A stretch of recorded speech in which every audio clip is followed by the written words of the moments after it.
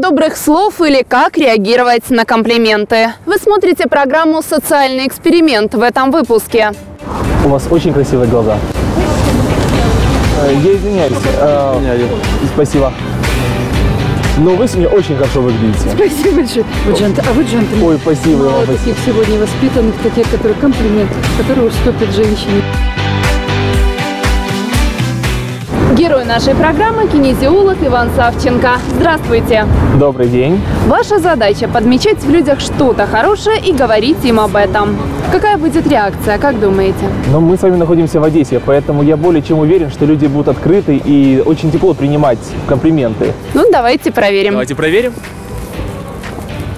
А вам кто-то говорил, что вы сегодня реально очень хорошо выглядите? Тогда я буду первый. Вот у вас очень красивая улыбка, у вас взгляд просто такой проницательный. И парень гордо стоит так, Да, да, да, такими красавицами. такими красавицами, прям так, ух! Положительная эмоция – одна из важнейших психологических потребностей. Похвала способна заставить организм человека выбрасывать в кровь так называемые гормоны счастья. А это улучшает настроение и продлевает молодость. А вам сегодня говорят, что вы сегодня очень хорошо выглядите? Спасибо большое. Вы очень хорошо выглядите. Спасибо, я э, всегда так. Э, Это очень правильно. Всего доброго. Чтобы создать оптимальный для здоровья эмоциональный фон, достаточно соблюдать правила семи. Хороших эмоций должно быть в семь раз больше, чем отрицательных. Так что похвала и комплименты важны, даже если они сделаны неловко и выглядят льстиво. Достаточно вспомнить слова из басни Крылова. И в сердце льстец всегда отыщет уголок. А вы сегодня очень хорошо выглядите. Да, спасибо большое. Важная жизненная потребность – чувство собственной значимости или желание быть великим, как называл его Фрейд. Признание другими людьми наших достижений или одобрение поступков способно поднять нашу самооценку, избавить от внутреннего дискомфорта и зарядить оптимизмом. Ребята, а вам говорят, что очень красивая пара? Говорили. Отлично.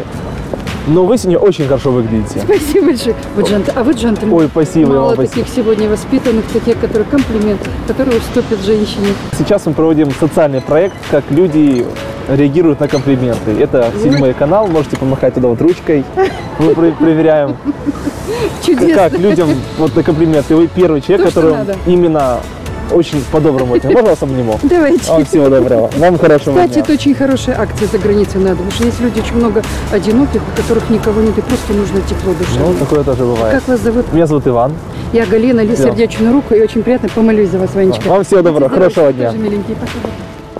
Если постоянно говорить о положительных качествах или талантах человека, рано или поздно он поверит в свои способности, благодаря чему сможет их проявить наилучшим образом. Вы очень хорошо выглядите сегодня. Благодарю.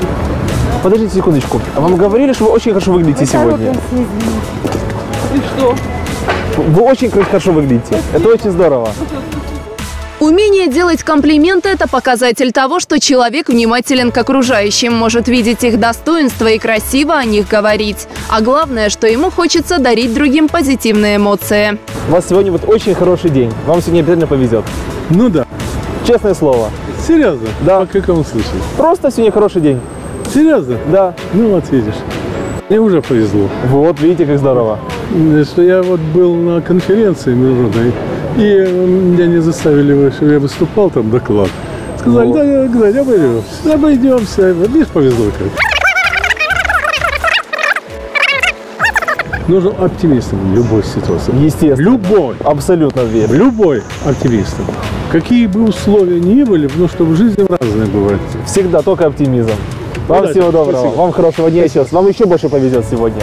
Сегодня, Еще больше, честное слово. ну, договорились.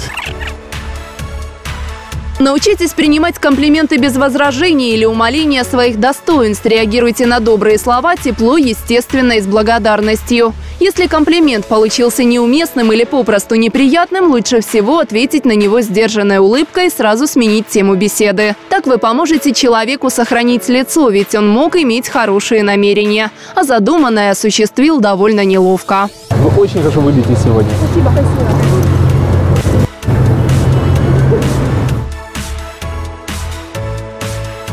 Ну что, самое время подводить итоги. Как все прошло? Ну, как сказать, э, очень многие люди принимали это черство, проходили мимо, но некоторые говорили спасибо, ну, как говорили, буркнули спасибо и пошли дальше. Э, По поводу мужчин вообще не понимали, что происходит. Что ты мне сказал? Шапка? Какая борода там? Ну, девушки, да, конечно, более все лояльней. Э, Молодые девушки, так, ой, спасибо, так и побежали дальше. Э, От 35 до 55 более так скованно были, не понимали там, волосы красивые, глаза красивые, там нормальный парень или как. Пенсионеры очень более радушно говорили, ой, спасибо большое, сынок, некоторые даже пообщались, э, там, даже немножко историю свою, свою рассказали. Им было очень приятно. Поэтому, ну, мне кажется, мы сделали хорошее дело, хоть каким-то людям мы сделали приятно, это уже многого стоит. Какой человек вам запомнился больше всего? Какая реакция? Тут две реакции. Или полный игнор, когда просто, даже не слушая, про- пролетали как броненосец вперед. И вот пару пенсионеров очень обрадовались, им было очень приятно. Они даже говорили, ну больше такого делайте. Две реакции. Но все-таки последняя мне намного больше понравилась.